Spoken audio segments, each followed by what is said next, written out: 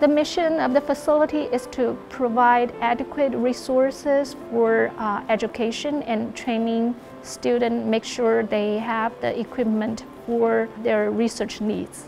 Now we have three magnets. The 600 is mainly for bio users, and the 300 and 400 is mainly for educational and training purposes and for organic chemists. This is the only center I know of that sort of is in that the temperate intermediate zone. There's good facilities to do really high quality work, um, but we also are training students at the same time.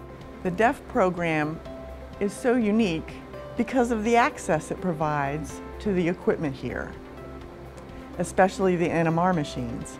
And also it provides interpreting services on the spot. Everything here, they just provide so much support. I can't imagine if it were gone I mean, because it really keeps me motivated for my research. This center is unique in that it's free.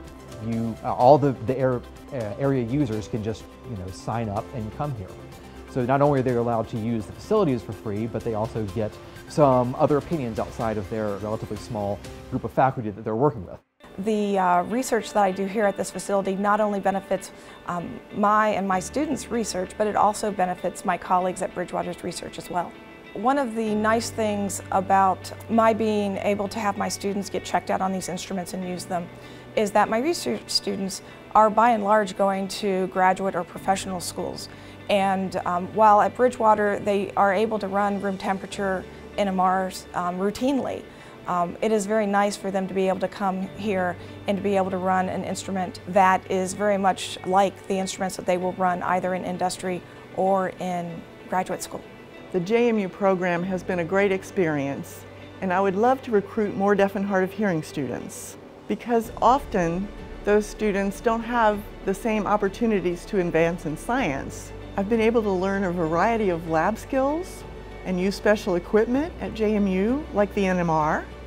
It's very rare for undergraduates to get hands-on experience with a lot of biophysical techniques. I specifically have been able to get really hands-on experience with 2D NMR on proteins. I've been able to travel to Argonne National Lab and use their advanced photon source to collect small angle X-ray scattering. And then also here at JMU we have access to LCMS, UV-Vis, CD, uh, and also ITC.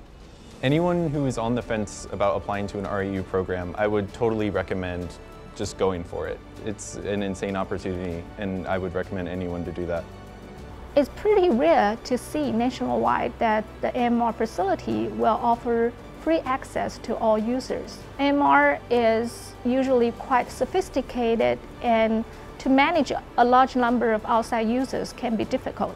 But for us, we welcome new users and that way we bring all the community users together and we together discuss about their research leads and what type of experiment they can do. And we also discuss about the parameter they use and pulse program. It's a good way to bring the whole community together.